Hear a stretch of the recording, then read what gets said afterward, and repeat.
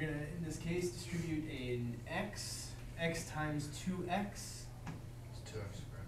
two x squared, good, because we have an x times an x, and the shorter way of writing x times x is two x squared, well, not two.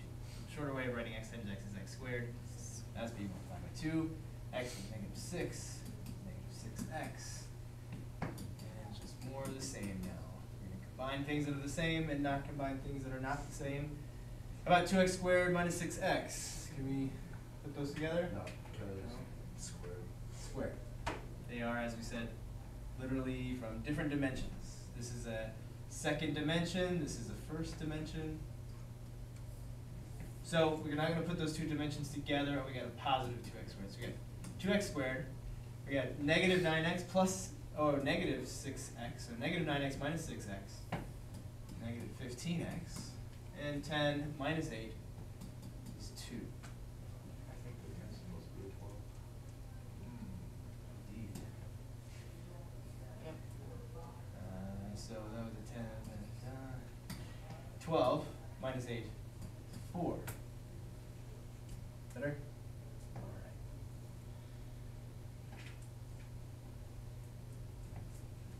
Alright, so we are getting back into the distributive property, distributive property, distributive property. Uh, and just keep in mind what you're distributing. If you distribute an x to an x, you have x times x, you got two x squared there. If uh, you distribute an x to an x squared, right, just for as an example, what's x times x squared? X cubed. x cubed. You can look at it just over here to the side. x times x squared. What does x squared mean? X. x times x. Alright, now we have what? Three x's being multiplied together. This is perfect situation to use exponents. Just clean it up, x to the third power. Okay. Um, do you have any questions from the homework problems? Good and good and Justin or Harvey, you guys good? So that means we're all ready to show off our skills. Yeah? Alright, let's get out a piece of paper. And well, I don't wanna reveal that, reveal that too soon. Get out a piece of paper. Um, welcome to have your calculator. I don't think you'll need a calculator. Okay. Welcome to one. Put everything else away though. Get a piece of paper out, pencil, books, all that stuff. Put them just down on the floor. Please. There we go. Alright, gonna simplify this expression. Uh, First we'll, we'll just go ahead and first, first distribute, we could do this negative nine or seven minus nine, you get negative two if you wanted, but we'll just go ahead and distribute. Make sure we're distributing that negative, so negative three x times four x is Twelve X squared. negative twelve x squared. Negative three times three, or negative three x times three, Negative nine x minus nine minus three x. Seven minus nine is a negative two get a negative 12x squared. There's no other x squareds that could combine with that, so it doesn't have any like terms. Uh, negative 9x minus 3x, negative 12x. Negative 12x squared minus 12x minus 2.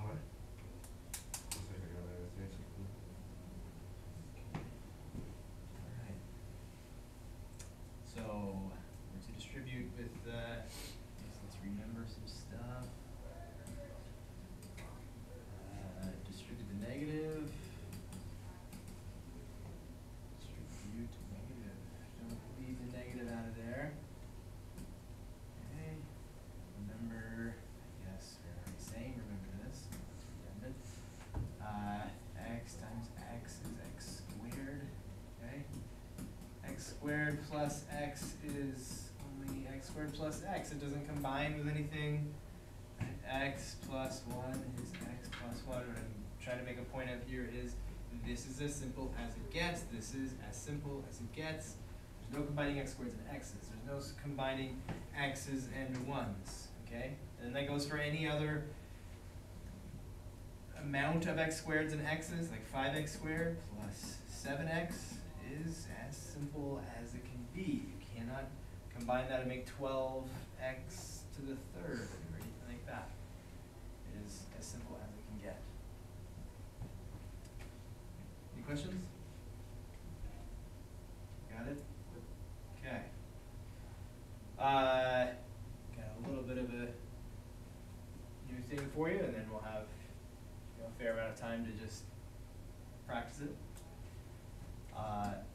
continues with this idea of distribution. So let me just throw some of this at you. What would what would this be if I were to distribute? Simple. Five X plus seven. Five x plus Definitely five. Take it slow there. Okay. Uh, should go like this first. X seven. Okay. Multiply that by five. Great. Multiply by x. Okay. X squared. X plus squared. seven X. Seven x. We distribute the x. X gets multiplied by everything, and we write it as x squared in that case. Right, as simple as it can be. How about a y? Throw a y out there. What would that be? Uh, Y X plus. Y seven x plus what? Seven Y. You got it, right? yx means y times x, which is exactly what we're doing. We're multiplying y by x by the distributive property. And y times 7, 7 times y, that's how we write it, as 7y. Might get some people writing it as an xy, right? Why might you see that instead? Because that means you multiplied it by x. Do it X times Yeah, Y. x times y is Not Y times X. Does it make a difference y times x or x times y? No, you put numbers in there for x and y, say 3 and 5. 3 times 5, or 5 times 3. Does it make a difference? Nope. No, of course it doesn't make a difference. Just the only reason you might see this is it's in alphabetical order. It's the only reason. It's just kind of a math tradition. Okay? Throw this one at you. How about a happy face times x plus 7? X happy face. X happy face. Seven plus happy face. 7 plus happy face? I mean, sorry, seven Plus Plus seven. plus seven times happy face. Okay. One more, one more silly one. Uh, Middle finger? Oh, That's what I was gonna do. What would that be if I was distributing cactus? Cactus X. Cactus X Plus seven cactus. plus seven cactus. And deal with cactus. Thank you. So we're distributing, we're gonna just take the thing that we're multiplying by the parentheses, it just gets multiplied by everything in the parentheses. So, you know, what if I took this example and made it plus uh, x squared? What if I did that? Uh, Cactus X plus seven cactus Uh-huh. plus. Ac- Cactus X squared. Cactus x squared. Okay, so that goes for anything, right? I'm, I'm, I'm using silly examples to drive home the point that it doesn't matter what's there. Whatever it is, we're going to multiply it by that, that, and that. Okay, so whether it is a 5x or a y or an x squared or y squared or w or anything, uh, it's going to get distributed to everything. So, here we go, backing it up. Do it times X, so seven times seven. Okay, now we get a little bit back into the, the actual uh, use, the actual point I'm trying to get home here. What do we have here? Parentheses. Okay? So I have uh, parentheses. Like, what can I put inside that parentheses? Anything, right? Could be, I could just go through the whole thing. Five, X, Y, cactus, happy face, everything. It doesn't matter what's in the parentheses. What would it look like if I were to distribute it? Just be multiplication. Multiplication between the parentheses, whatever it is, times x plus, about seven times parentheses, just because it's kind of, yeah, whatever. Then we could write x parentheses.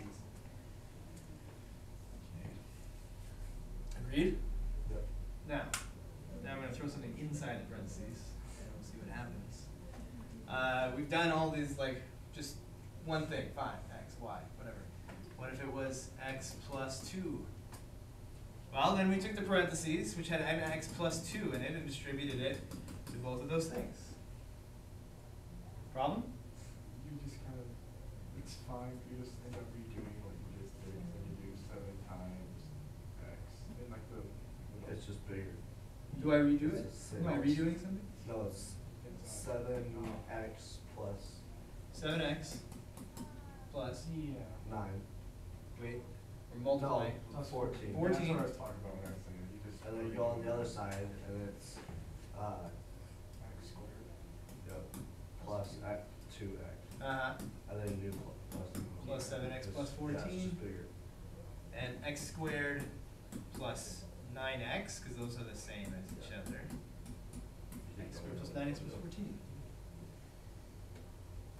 So, we can distribute this parentheses that has something plus something else in it too. Right. Like that. Alright, okay, let's try that again. Move from this.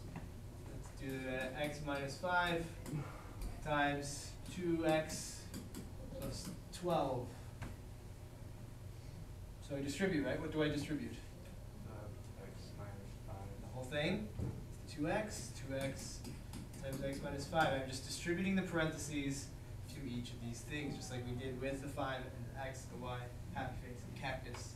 We just distributed it to each thing, plus twelve times x minus five. So they each get an x minus five, and now we have two more distributions to do. Two X squared Two x squared, minus ten, X, no, ten X. right, minus ten x, Um, x, plus twelve X uh-huh. minus, Twelve times five is a biggie. yeah, ten, Sixty. yeah. That's when I have memorized, I don't have a lot of my multiplication facts memorized. The only one I have completely memorized is twelve and twelve, hundred forty. Twelve times, I I mentioned it twelve times two. Yeah. Okay, yeah, I, did you, did you guys have those mad minutes? You know what mad minutes are? I They used to call have them those something when I was a different, kid. and you were in, like, for me it was maybe fourth, fifth grade, and you just throw all these worksheets at all the kids, and they had just, I don't know, fifty multiplication problems, and you have to do it as fast as possible. Oh, like the one minute. I hated them as a kid, I We hate used to them have now. a packet that we would do, they just Uh-huh. throw a packet down and say, okay, you got two minutes to do this. It's, it can be helpful, but it can also be, it gives, I think it gives people the wrong impression about math, right? It's depressing. It's depressing, okay, that would be the wrong impression. It's the impression, you gotta be the wrong one. Uh, but then it's about memorizing and speed. It's not about that at all about understanding and contemplation, deep meditation, that kind of thing. That's what that's about. All right, so we get this double distribution thing. I distribute, and then it therefore necessitates that I distribute again. One more, and I'm going to show you something cool about this. 3x minus 4 times 7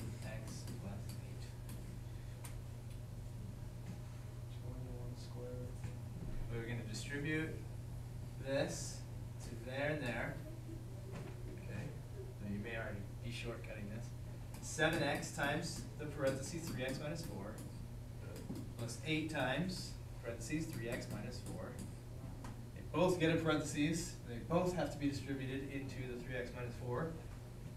7x times 3x. 21x. Uh-huh, 7x times negative 4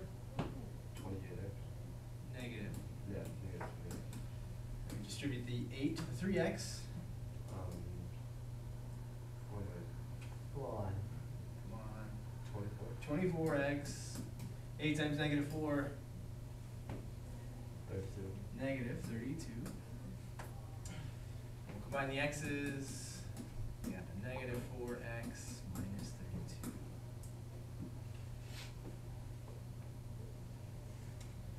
Alright, so there's a slightly faster way of doing this, right? You might notice that each term in these parentheses, even if it's, it could be two terms or three terms or four terms or five terms, each one of them is gonna have this parentheses distributed to it and then it has to be distributed into that parentheses. I have a question for you. Yeah. Would it matter if instead you did seven x and eight x of distributing Uh, it, would could you do the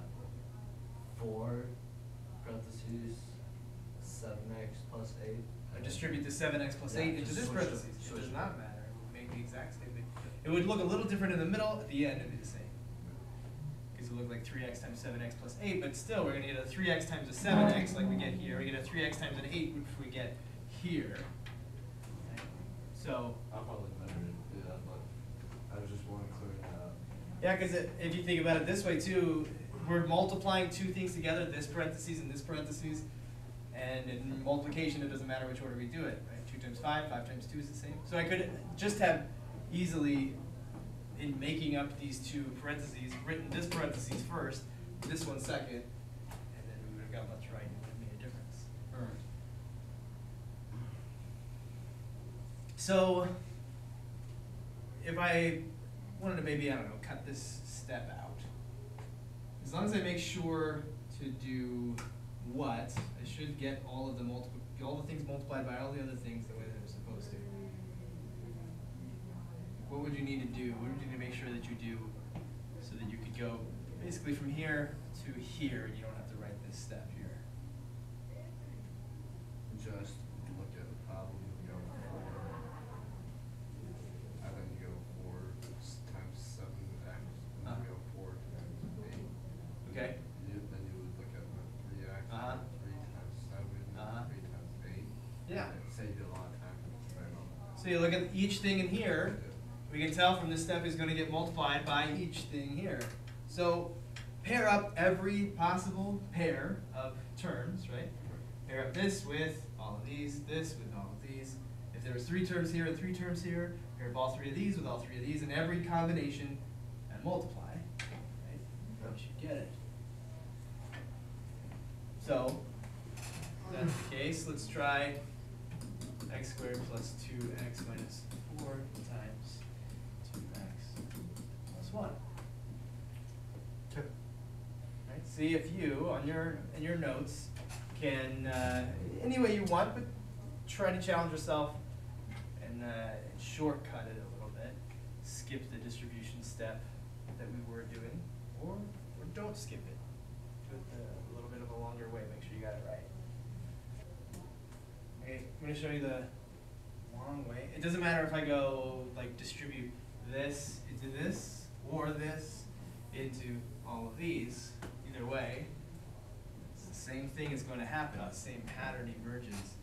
I'll go ahead and distribute this to the two x, and I get two x times parentheses x squared plus two x minus four plus. I'll distribute this to the one, and I just get one times x Now I have a thing times a parentheses, same situation as I had before, same situation we had in previous homework. We're going to distribute that 2x. 2x times x squared is 2x to the third. And we went through that right there.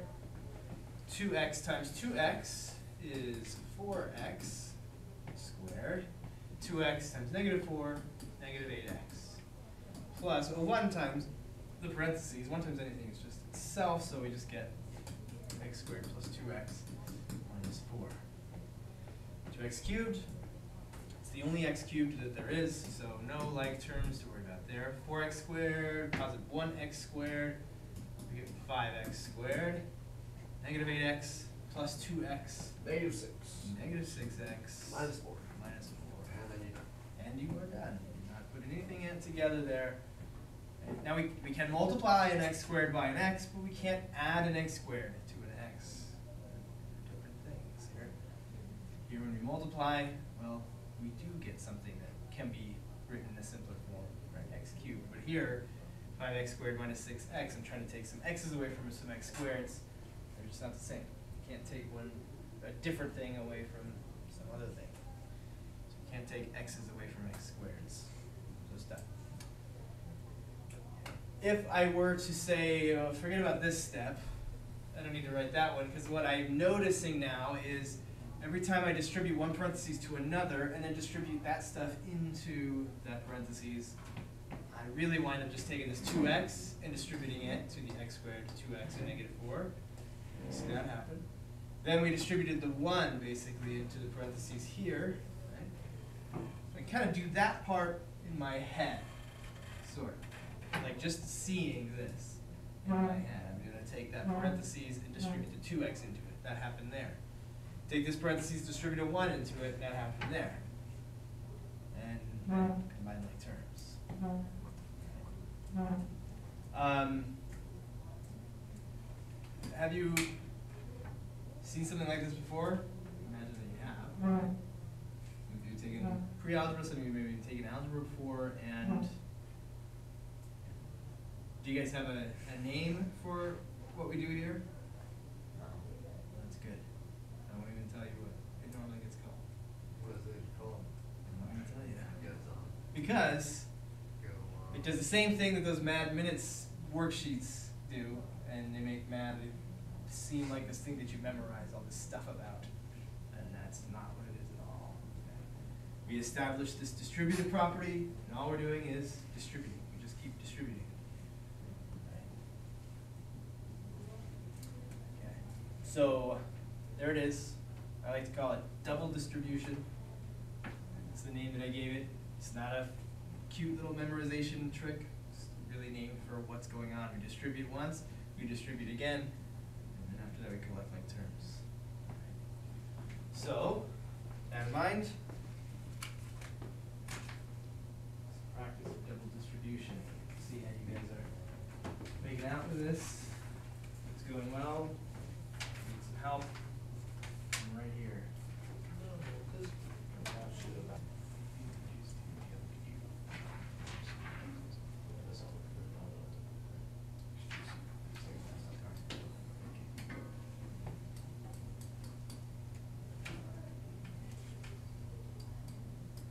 Haven't do that yet. Alright, so the first part of this, this number one distribution, uh, negative three x squared times two x squared, negative three times positive two is negative six, x squared times x squared is x to the fourth, because, let's look at it over here, negative three times x squared times negative, or no, positive, so I can just leave that, times two x squared, and negative three times two is negative six, times x squared times x squared, and x squared means x times x.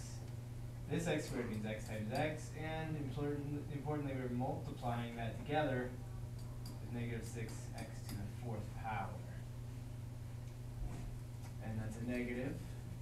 And negative three x squared times negative five x is gonna be a positive, three times five is fifteen, x squared times x is x to the third. Negative three x squared times negative three is gonna be a positive nine x squared. Combining like terms, we have, there's only one term that has x to the fourth in it. Uh, only one term with x to the third in it. Nine x squared plus four x squared, thirteen x squared, which I think is negative. Yeah. So There's that first one. Um, you guys continue to work on that. I'm just gonna be up here and work through these slowly. Does that seem like an alright way to go? You guys can watch it. Not watch it